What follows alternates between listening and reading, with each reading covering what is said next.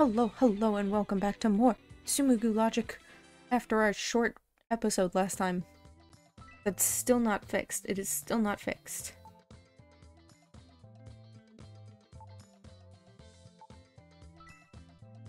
Kagemoto and Kotoko. Wow. Oh, I forgot about it. Kotoko asked me to come over here. But I completely forgot about it because of the thief case.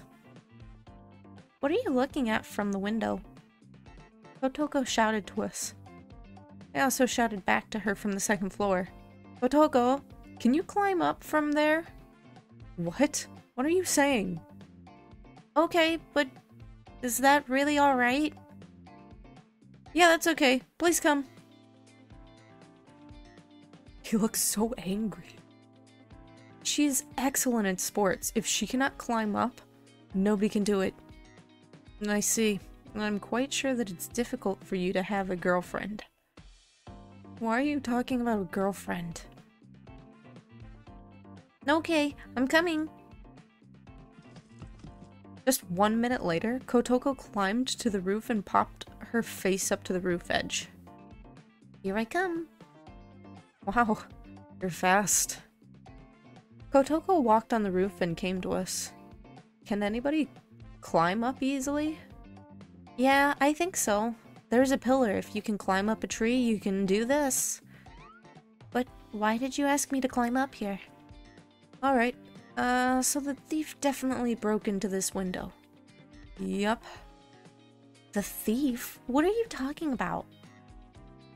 Sosei nodded as if he were agreeing with me and looked at Kotoko. Can I ask you to do one more thing? Excuse me? Can you take a peek at the next room and remember the room layout? Oh my god, why did you ask me that?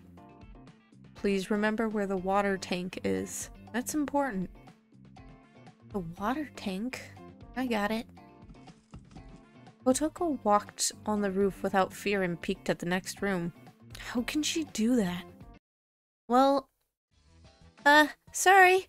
I'm not a stranger. I'm a friend of Tsumugu. Kotoko suddenly spoke loudly. Kagemoto probably noticed her. By the way, where's the water tank? Oh, that one? Wow, the water tank is very big. Oh no, I see. That must have been difficult for you. I couldn't hear Kagemoto's voice here, but Kagemoto seems to talk to Kotoko normally. I thought that Kagemoto doesn't like to talk to anyone, though.